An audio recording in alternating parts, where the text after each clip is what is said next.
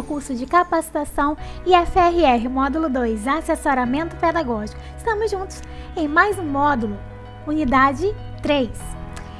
E eu sou a professora Larissa Jussara Leite de Brito Sombra e estaremos juntos no decorrer desse módulo. No vídeo anterior, nós falamos sobre a inserção desse plano de ensino de atividades não presenciais no SWAP. Espero que vocês tenham aprendido, muito simples, não é mesmo? E hoje, nesse vídeo, nós vamos aprender um pouco mais sobre o desenvolvimento desse plano. Sim, nós vamos desenvolver juntos o plano de ensino de atividades não presenciais. Vamos voltar para o nosso plano? Então, esse é o nosso plano que nós aprendemos a inserir no SWAP. E são informações básicas. Você vai colocar aqui o nome do curso,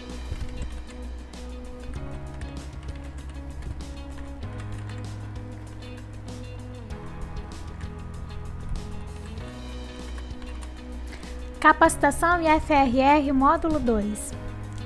A turma, que é a turma 1, o ano, que é 2021. A professora ou professor. É importante que você coloque seu nome completo nesse nessa lacuna.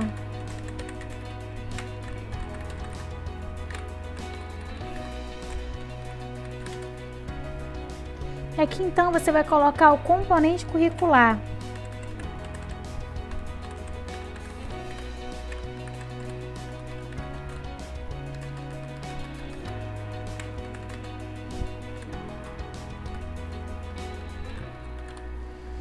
O total do componente curricular, no caso aqui o nosso componente curricular são 60 horas, o que você já cumpriu do componente curricular e o que você ainda tem cumprir.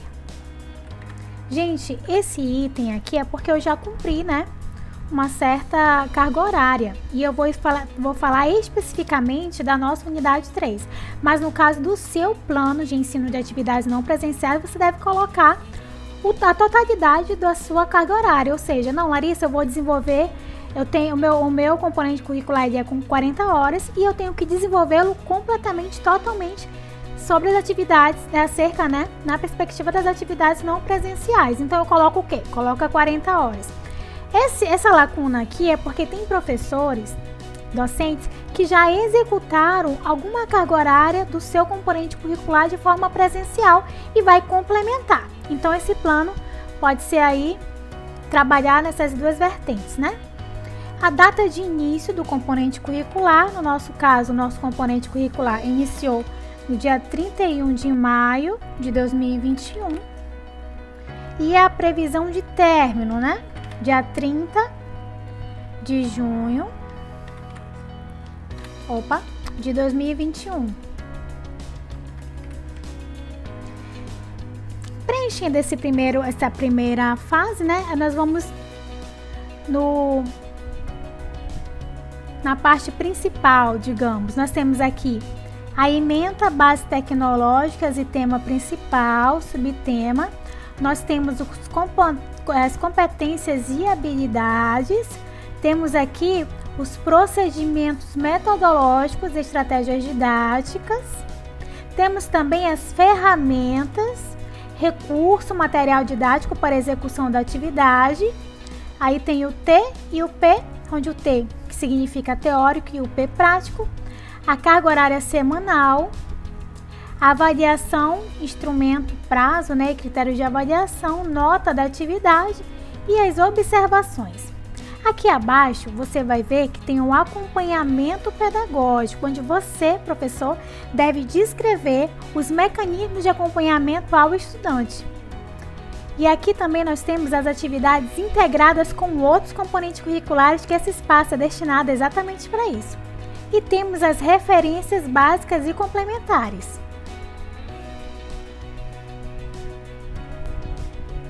E aqui então você vai estar verificando o acompanhamento pedagógico, como já dito, as atividades integradas e as referências básicas e complementares. Vamos iniciar nosso preenchimento?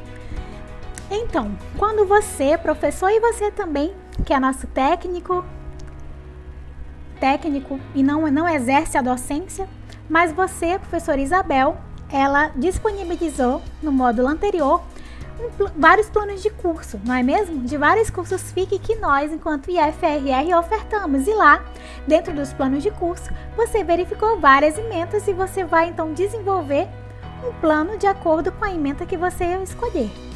E lá dentro dessa emenda tem a, a emenda, né? Que tem aqui uma, uma, um sistematizar dos conteúdos a serem trabalhados no componente curricular, onde lá você vai subdesenvolver, digamos assim, item por item, conforme for a sua demanda e conforme você você verificar que é viável para desenvolver o seu componente curricular. E subtemas, se caso você também achar necessário. Um exemplo, dentro da unidade 3, qual o item da ementa dentro do assessoramento pedagógico?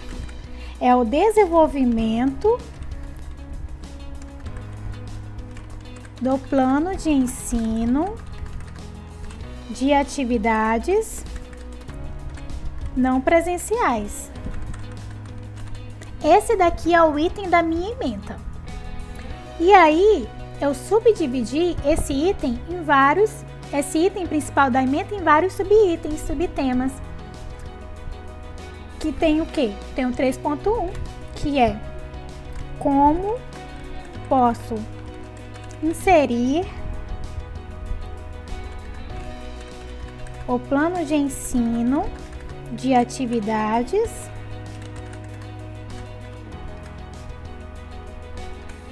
não presenciais no SWAP. Temos aqui também o 3.2, que é esse item aqui que nós estamos desenvolvendo agora. Como posso Deixa eu dar um espaçamento aqui. Como posso desenvolver o plano de ensino de atividades não presenciais. Nós temos aqui também o item 3.3, como posso desenvolver o plano de ensino de atividades não presenciais para alunos com necessidades específicas. E aqui nós temos então o item 3.4, que seria o que? Como posso editar e concluir o plano de ensino de atividades não presenciais. Temos aqui então também o 3.5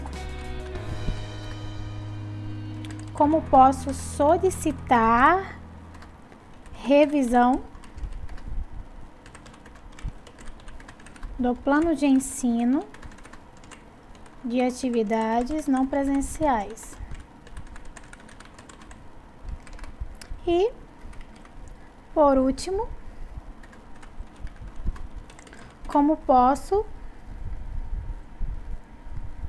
assinar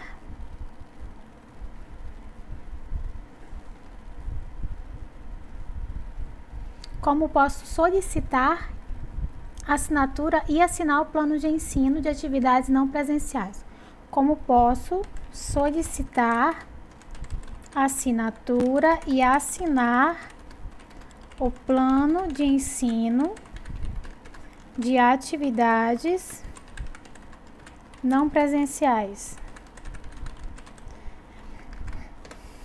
Isso, são seis itens.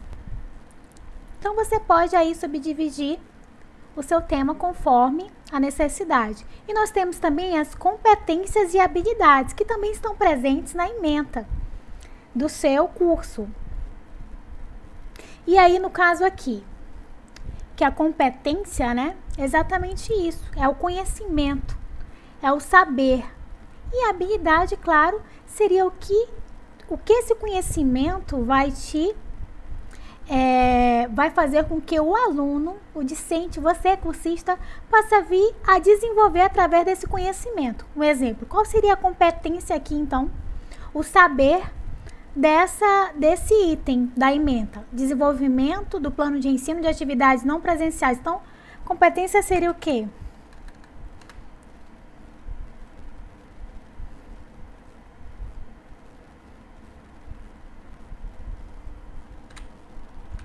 competência seria o quê?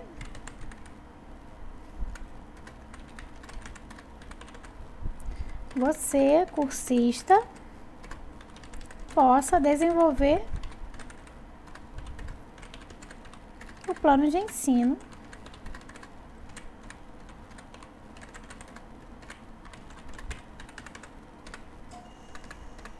não presenciais. Exatamente isso. Então, esse saber, esse conhecimento, você vai fazer o quê? O objetivo principal é fazer com que você, cursista, possa o quê? Aprender, possa compreender esse desenvolvimento. Que aí poderia utilizar o verbos, né? Compreender, assimilar, entre outros. Podemos organizar assim: compreender o plano de ensino de atividades não presenciais.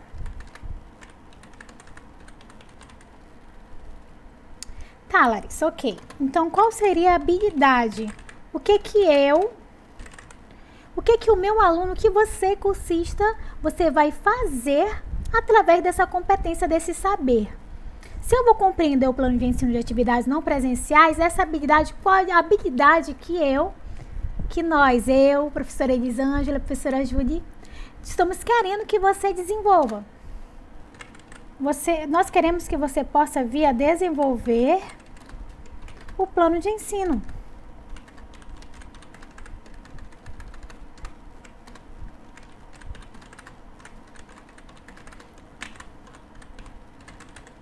de atividades não presenciais.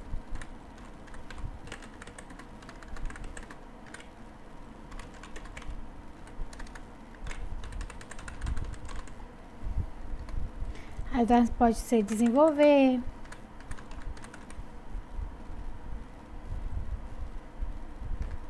Né? Que é, no caso você vai estar tá desenvolvendo, vai estar realizando, entre outros. Ok, Larissa, então assim, os procedimentos metodológicos, estratégias didáticas, tá? Eu sei que a ementa, eu tenho desenvolvimento do plano, a competência é realmente isso, eu vou compreender, o aluno vai compreender, um cursista vai, você vai compreender, você vai poder desenvolver o plano de ensino através dessa compreensão. E agora, qual o procedimento metodológico que eu vou estar tá realizando para que quais os caminhos, né? Os caminhos pelos quais eu vou perpassar enquanto professor, enquanto docente, para que você, aluno, possa vir a compreender. Então, realizar um passo a passo do desenvolvimento do plano de ensino de atividades não presenciais. A partir do que, que nós estamos fazendo aqui? A partir do preenchimento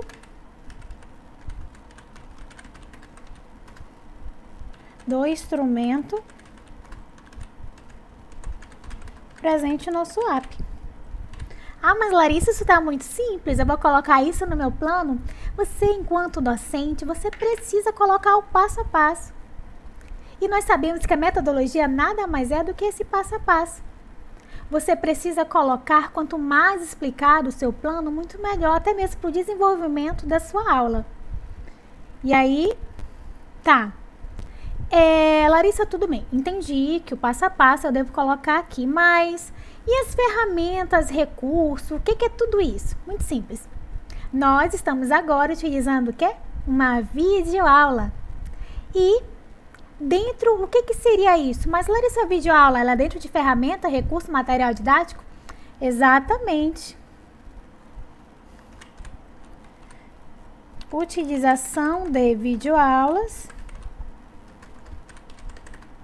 para explicitar o desenvolvimento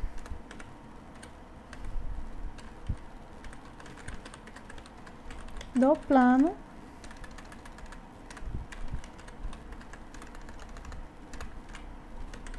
do plano de ensino de atividades não presenciais.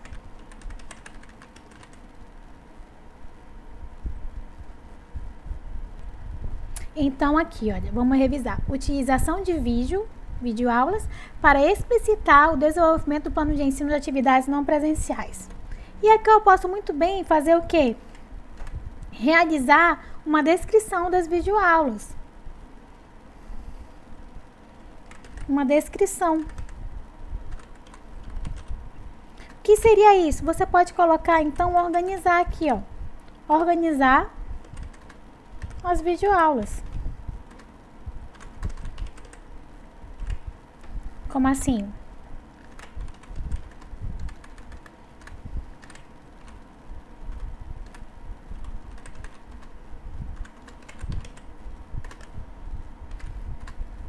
Vídeo aula 1. Inserção do plano no SWAP. Um exemplo, né? E aí eu vou, vou colocando de forma sistemática o que eu coloquei. Mas Larissa, tudo bem. É, mas eu no caso, é, eu coloquei, eu não vou utilizar videoaula, mas eu vou colocar material didático. O, a minha apresentação em slide é material didático? Sim. O seu, a sua apresentação é sim.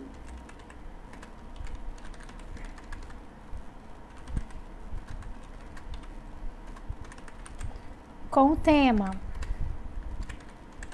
inserção do plano no swap. Tá, tudo bem. É, Larissa, mas assim, no meu caso eu tenho um livro.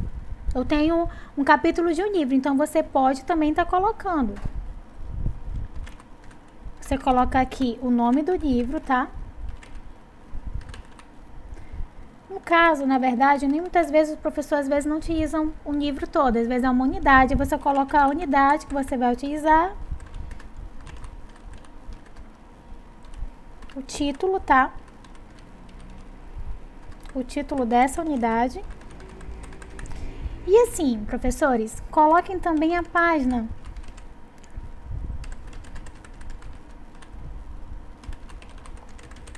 Porque, assim, muitas vezes o professor Larissa tem um, um livro de mil laudas e eu coloquei lá no ambiente ótimo, mas muitas vezes, professor, você não utiliza essas mil laudas no seu conteúdo programático, não é mesmo? Às vezes você utiliza uma unidade e aí você coloca aqui as páginas que você vai utilizar, o título, quanto mais descrição, quanto mais esmiuçar o que você vai utilizar na sua aula é muito melhor para você, para sua organização, para a equipe pedagógica e, é claro, nosso público-alvo, né, os nossos alunos. Então é importante, mas ressalto que uma orientação pedagógica que eu sempre forneço para os professores. Para você, cursista, eu também vou falar agora.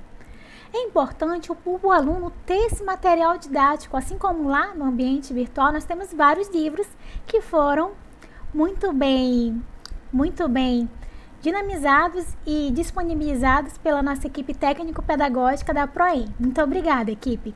E nós disponibilizamos ali no ambiente para que você possa vir a fazer várias leituras e, é claro, ter essa formação de uma forma completa.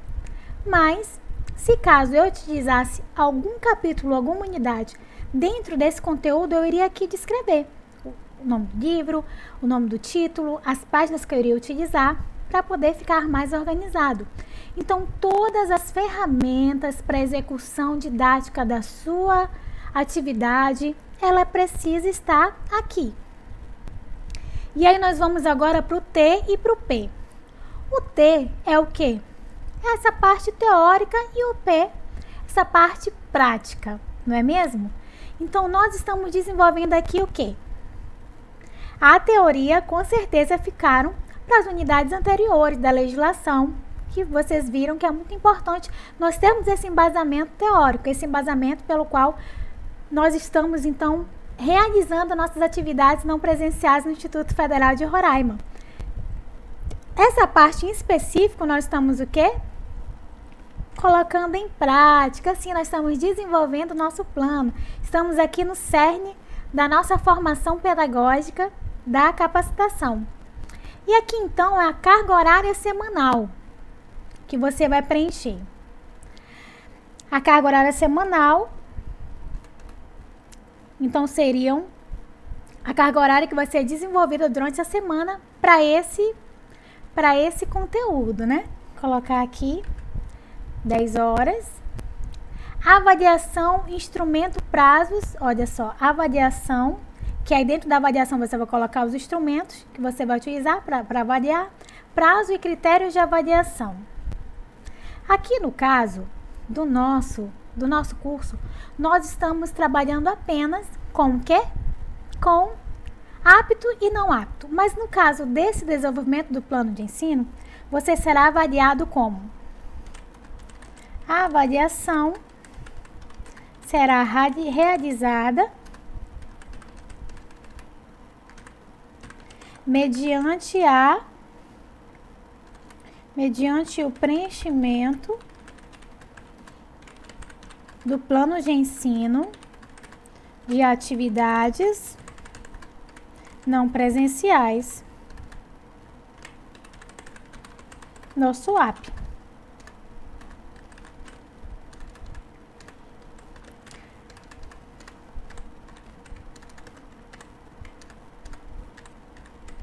Ou seja, a sala que você desenvolveu todas as ferramentas que a Isabel, de uma forma brilhante, disponibilizou para vocês no módulo 1. Agora nós vamos fazer com que você monte, né? Você já montou a sua sala, então você vai planejar essa sala.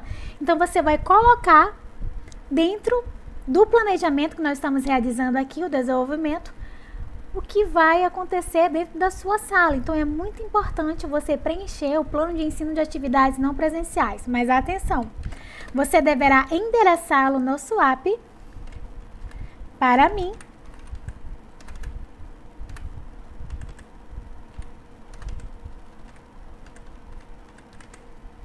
Larissa.sombra. Isso é muito importante. E para outras professoras que estão assim disponibilizadas também. E vai estar lá no nosso ambiente virtual de aprendizagem. Então, a avaliação será realizada mediante esse preenchimento do plano de ensino. E atenção, todos os planos de ensino, eles vão ter que trabalhar com uma perspectiva inclusiva.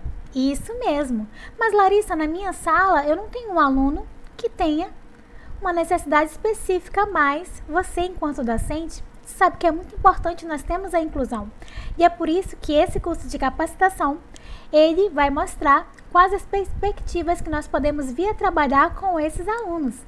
E é por isso que todos os planos de ensino devem, se você não tiver um aluno que atenda, mas você pode escolher uma das várias necessidades específicas que temos que será apresentada pela Judy, pela, pela nossa professora Judy Andre. E aí você vai poder vir a desenvolver, remanejar o seu plano dentro dessa perspectiva inclusiva. E aqui então, você vai colocar um exemplo. A avaliação será realizada mediante um preenchimento do plano de ensino de atividades não presenciais no SWAP. Coloquei aqui larissa.sombra.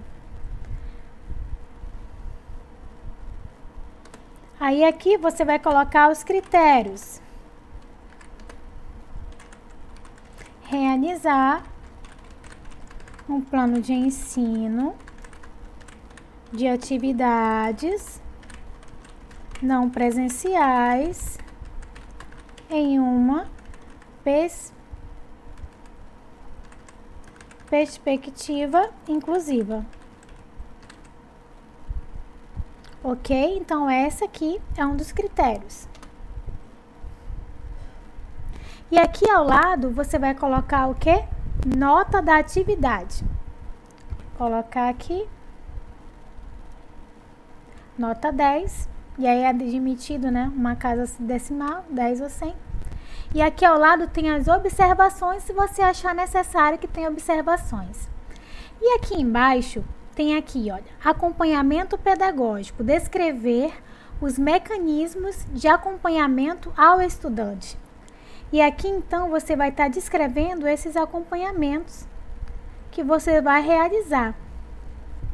Larissa, eu tenho muita dúvida aqui. O que, que é acompanhamento pedagógico? Eu já sei, é o acompanhamento que o pedagogo faz com o aluno. Não.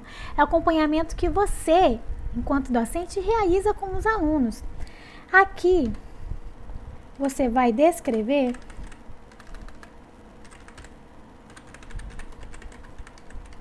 as estratégias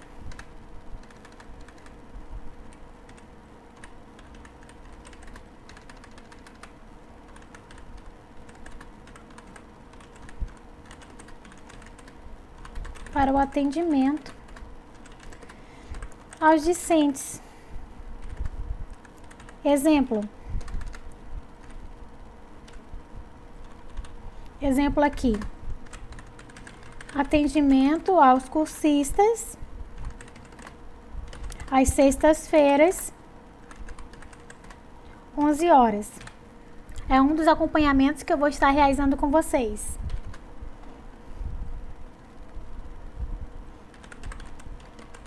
Mediação junto aos cursistas no SWAP.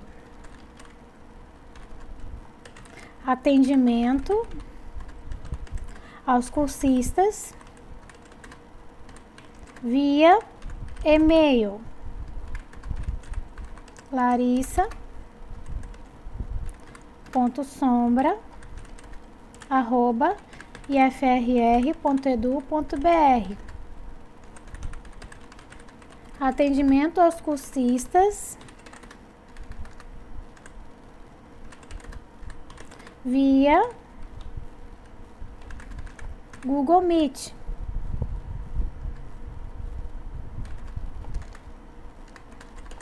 A ser agendado segundo demandas que isso daí fora também é sextas-feiras, às 11 horas, que já é um horário estabelecido e dia, conforme já o andamento do primeiro módulo. Então aqui você vai descrever detalhadamente todas as estratégias que você vai estar realizando para acompanhar esse aluno.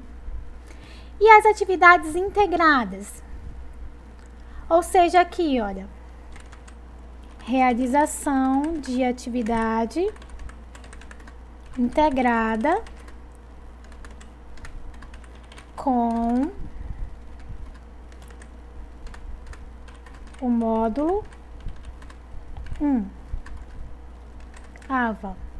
Assim, eu estou descrevendo de uma forma bem sucinta, tá, gente? Mas acredito que vocês estejam compreendendo. Então, no acompanhamento pedagógico, acompanhamento que eu vou estar fazendo com vocês, coloquei aqui o e-mail, Swap, Google Meet, coloquei toda sexta-feira às 11 horas da manhã.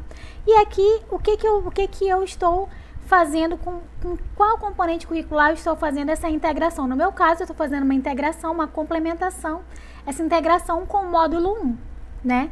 Que foi com essa introdução ao AVA. E as referências básicas e complementar. Aqui, é claro, você vai descrever todas as referências utilizadas. Agora sim, algo que é importante salientar que às vezes o professor, dentro da emenda do componente curricular, e utiliza a básica e a complementar. Larissa, é, fora a emenda, eu vi que outros livros, outros artigos, eles podem vir a complementar esse conteúdo programático. Tá, onde é que eu coloco? Você coloca na bibliografia complementar, na referência complementar. Todo livro pelo qual, referência pelo qual não está dentro das referências básicas complementares da sua ementa. Não é proibido, pode inserir. Quanto mais conhecimento, melhor para o aprendizado dos alunos, não é mesmo? Então, eu espero que vocês tenham tido essa ampla visão do plano de ensino de atividades não presenciais. Deixa eu colocar aqui para vocês visualizarem melhor. Diminuir aqui para vocês visualizarem aqui o 100% da tela. Então aqui preenchemos, vamos fazer um, um resumão. Plano de ensino de atividades não presenciais, aqui nós preenchemos os dados básicos, nome do curso, turma, nome do professor, da professora, o componente curricular, carga horária do componente, data de início de fina e final. Aqui nas ementas eu entendi que a ementa que está dentro né, da, do próprio inventário do componente curricular, que eu vou colocar aqui, aqui eu vou descrever os subtemas, subitens pelos quais eu acho necessário para poder vir a ter o objetivo principal do componente curricular, competências e habilidades aqui. Deixa eu só aumentar um pouquinho para vocês visualizarem melhor. Competências e habilidades aqui, né, que nós colocamos. Competência seria o quê? Seria esse conhecimento, esse conhecimento que você vai extrair através da ementa, que está muitas vezes descrito já nos planos de curso, né, de cada curso.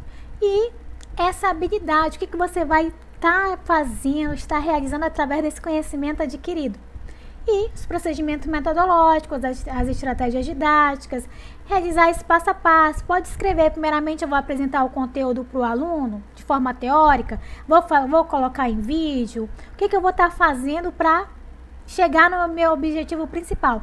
Então eu realizei o passo a passo junto com vocês para poder o que estar tá realizando o objetivo principal, que é fazer com que você, cursista, possa desenvolver o plano de ensino de atividades não presenciais da sua sala. As ferramentas e recursos, expliquei que esse agora é uma ferramenta, a videoaula é uma ferramenta. O seu, o seu material didático, que é na verdade, pode ser artigo, livro, entre outros. E o TUP, que é teoria e prática, a carga horária semanal a avaliação, descrevi aqui alguns critérios de avaliação. A nota da atividade e as observações. E não esquecendo da carga horária, né? Que eu já coloquei, do acompanhamento pedagógico aqui, ó, o acompanhamento pedagógico, que não é aquele realizado pelos pedagogos e técnicos em assuntos educacionais, é realizado por você, docente. Descrever aqui como é que você vai estar acompanhando esse aluno as atividades integradas, se, se ocorrer, e as referências básicas. É importante, gente, nas atividades integradas, ressaltando aqui, que às vezes o professor ele não coloca, é importante, você vai ter uma atividade integrada, componente curricular, geografia e história.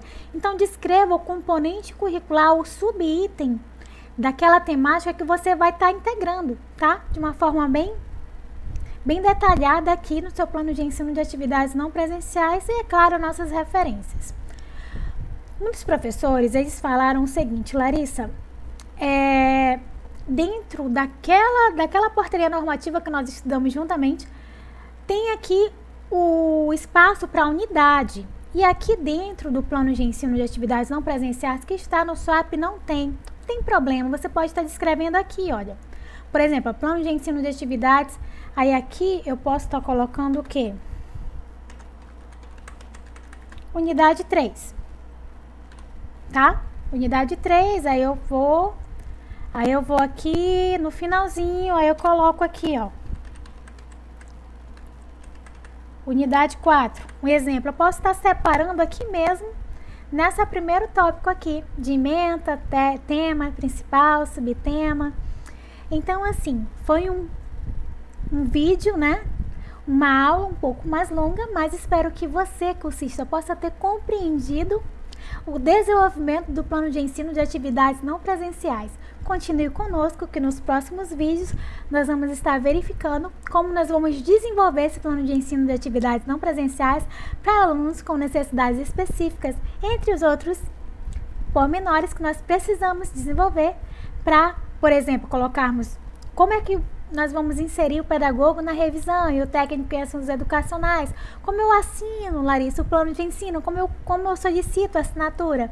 Então, esses detalhes nós vamos ver nos nossos próximos vídeos. Nos vemos nos próximos vídeos e tenha uma ótima unidade 3 de